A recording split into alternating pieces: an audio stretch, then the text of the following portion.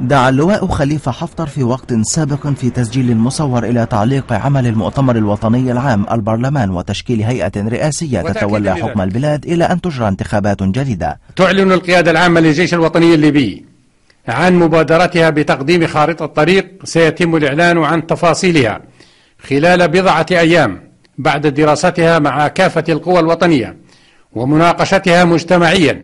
وقال رئيس الوزراء الليبي علي زيدان إن الحكومة تمارس عملها بشكل عادي وإن الأمن تحت السيطرة وذلك بعدما دعا المسؤول العسكري الكبير الجيش إلى إنقاذ البلاد.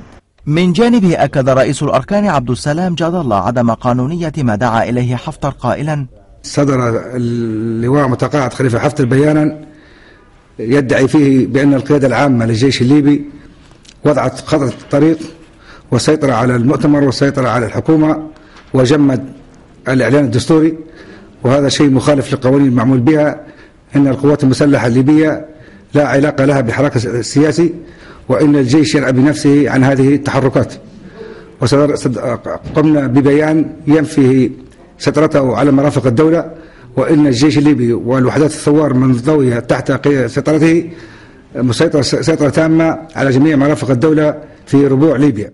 وساد الهدوء طرابلس ولم تظهر مؤشرات على تحركات أو أنشطة للقوات خارج البرلمان في طرابلس أو مكتب رئيس الوزراء أو أي وزارة.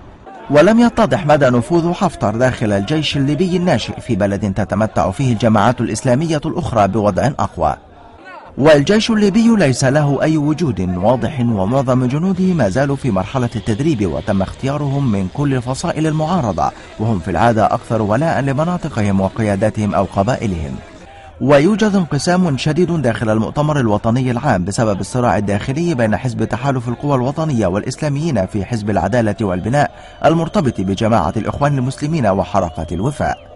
وسيدلي الليبيون بأصواتهم في العشرين من فبراير الجاري لاختيار جمعية لوضع مسودة الدستور خلال الأشهر القليلة القادمة والتي توفر إذا ما نجحت بارقة أمل نادرة في مرحلة انتقالية شابها حتى الآن الاضطراب والعنف.